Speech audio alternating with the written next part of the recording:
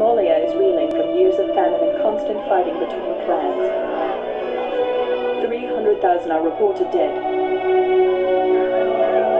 There is no central government. The U.S. Army's 10th Mountain Division deploys to the region as part of a multinational peacekeeping force.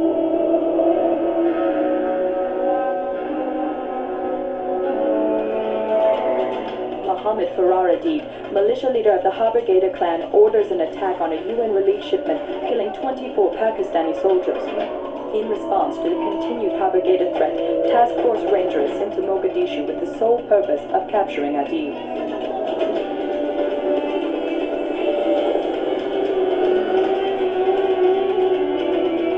This force is comprised of U.S. Army Rangers and operators from the 1st Special Forces Operational Detachment Delta, fighting unit also known.